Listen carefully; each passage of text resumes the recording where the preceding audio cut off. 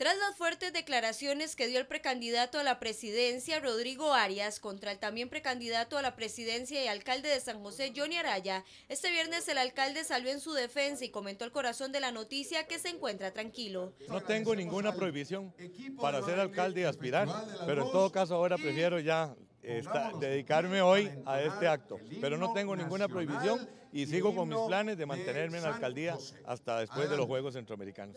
Arias manifestó que Araya debió renunciar en el momento en que anunció su precandidatura. Por otra parte, el alcalde Josefino comentó que su labor por mejorar San José es una tarea de 20 años. Extra Noticias consultó al precandidato su posición ante el anuncio de que José María Figueres no será competencia. Bueno, ya yo lo he dicho eh, muchas veces, me parece razonable su decisión. Las declaraciones se generaron después de que Araya repuntara en las encuestas sobre intención de voto e incluso lograra atraer al doble de simpatizantes con respecto a su opositor.